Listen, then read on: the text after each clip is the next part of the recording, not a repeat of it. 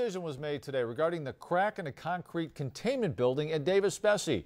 Good evening, everyone. Thanks for joining us. I'm Lee Conklin. And I'm Diane Larson. An analysis was supposed to be released today to determine how to deal with the 30-foot long crack. 13 ABC's Christian Brown spent the day in the Oak Harbor, Port Clinton area, and she joins us live with the latest. Christian. Well, Diane, a Davis-Besse spokesperson told me this morning that they were waiting on the outcome of an analysis to determine what steps need to be taken so they could figure out just how serious the situation is. Davis-Besse workers made the discovery on Monday while replacing the nuclear reactor head at the plant. They discovered a small vertical crack in the thick concrete outside the concrete containment building. It's all the buzz in nearby Port Clinton. My big thing is that they better be very careful, better watch it closely. I think there are too many uh, plants around this country like that anyhow.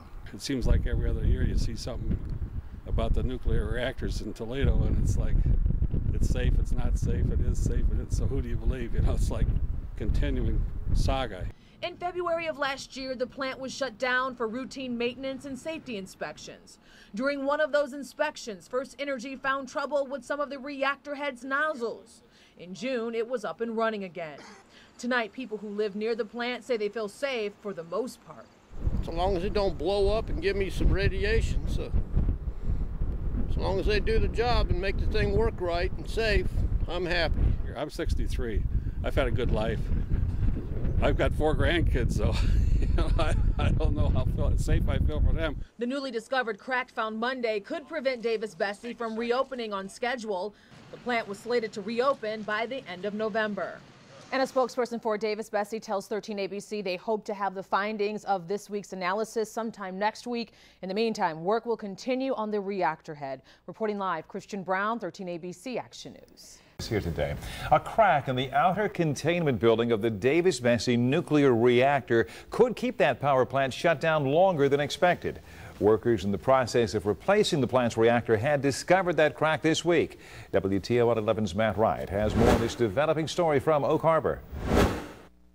The cracking was found in a concrete building that surrounds the nuclear reactor. You can see from this demo it's made of about two and a half feet of concrete. Inside there's rebar, and the cracking was found running along vertical rebar. The crack is as much as 30 feet long in the concrete outer shield building. The building is meant to protect the reactor from outside forces like a tornado or even an aircraft. Because safety is our top priority, we take all discoveries such as this very seriously. Workers using hydro demolition cut a hole in the shield building to make way for a new reactor head.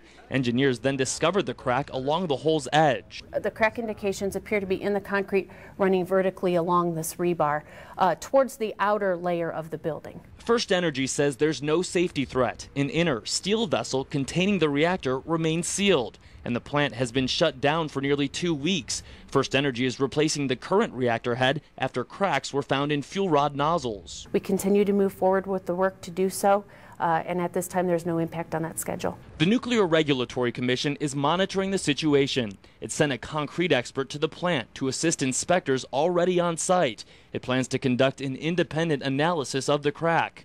Those who live in the shadow of Davis-Besse say any problem can be alarming. I don't give it a whole lot of thought, but once in a while when you hear there's something wrong with it, it concerns you. They're on top of stuff and it's, you know, it's regulated, so that's a good thing. Davis-Besse is scheduled to be back online by mid-November, but that could be delayed. I hope they get it fixed in a hurry. First Energy says it won't restart the plant until the crack is fixed. In Oak Harbor, Matt Wright, WTOL 11.